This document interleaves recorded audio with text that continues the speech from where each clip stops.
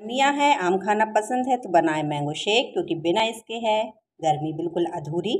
तो यहाँ मैंने लिया एक मैंगो इसको सबसे पहले हमें छील लेना है और काट लेना है। अब ले लीजिए एक जार, सारा मैंगो इसमें ऐड कर दीजिए। अब मैं काजू और बादाम दोनों पाँच पाँच ले रही हूँ, बादाम मैंने फुला रखा था रात को, इसको छील लिया है।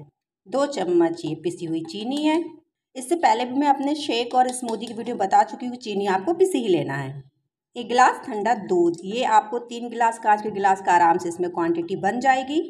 तो अभी मैंने आइस का बिल्कुल भी इस्तेमाल नहीं किया, क्योंकि दूध और मैंगो हमारे बहुत ठंडे थे रात रात भर हमारे फ्रिज में थे, इसलिए मैं आइस का इस्तेमाल बिल्कुल नहीं कर रही हूँ अभी, और इसको अब हमें ब्लेंड कर लेना है। अब आप ऐड करिए आइस और ऐड करिए मैंगो शेक को। दूसरे में भी फिल करिए।